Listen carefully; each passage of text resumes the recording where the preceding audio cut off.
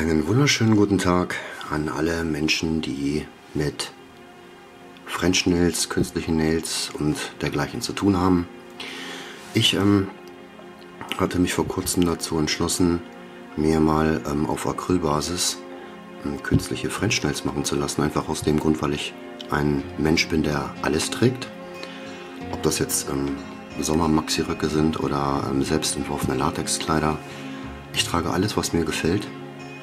Und ähm, da habe ich mir gedacht, dass dazu auch mal die richtigen Fingernagel, Fingernägel ähm, her müssen, um das Outfit halt komplett zu machen und das Aussehen halt. Ja, was soll ich sagen? Ähm, zwei Tage nachdem ich die wunderschönen Nails hier hatte, ähm, und ich finde, die sehen wirklich an Männerfingern auch wirklich ansehbar aus. Ähm, so schlicht, klassisch mit einem weißen Rand vorne. Ich finde, das macht Nägel unwahrscheinlich ähm, super geil vom Aussehen her. Tipptopp gepflegt.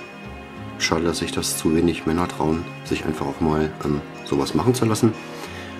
Ähm, zwei Tage nachdem ich diese Nails hatte, bin ich in meiner Küche gestolpert ähm, wollte das Fenster aufmachen, weil wieder ein Polenböller losging und ähm, zwar direkt neben meinem Auto und ich habe eine Alarmanlage mit so einem kleinen Handsender, der liegt neben meinem Bett, also ich weiß immer ganz genau, was an meinem Auto gerade Sache ist. Er ging also zum zweiten Mal los und ich habe mir gedacht, du verdammter Hund, dir schmeiße ich jetzt einen Knaller hinterher, der nicht von schlechten Eltern ist. Ich möchte euch jetzt Einzelheiten ersparen und was ich hier für Knaller zu Hause hatte vor Silvester. Ähm, bin dann in der Küche über mein riesengroßes, schweres, fast 30 Kilogramm schweres ähm, ferngesteuertes Modellauto gestolpert. Und das Ergebnis war, dass ich mir hier einen Nagel angehoben habe. Der stand also senkrecht nach oben. Ich konnte aufs Fingerbett, auf die, ähm, aufs Fingerbett, Fingernagelbett gucken. Ja, und der ist jetzt hier im Laufe der Tage so abgestorben. Ich habe den gestern so ein bisschen abgeschnitten. Sieht alles schlimm aus, tut aber nicht weh. Ich kann das hier mal zeigen. Man kann ihn immer noch hochheben. Ja, kann man immer noch hochheben hier. Ich gehe damit auch jetzt mal zum Arzt, mal sehen, ob er mir den ganz ziehen möchte. Das kann also passieren, also wenn man künstliche Nails aus Acryl hat, bevor die abbrechen, klappt man sich mal so eben den ganzen Fingernagel nach oben. Das war meine ersten Erfahrung mit French Nails.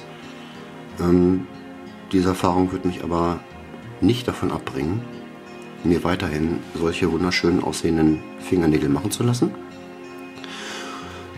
Der, der nächste Termin ist äh, übernächste Woche und das wird dann ein bisschen billiger werden, weil ich habe ja zurzeit oder in den nächsten drei, vier Monaten nur neun Finger, die behandelt werden müssen.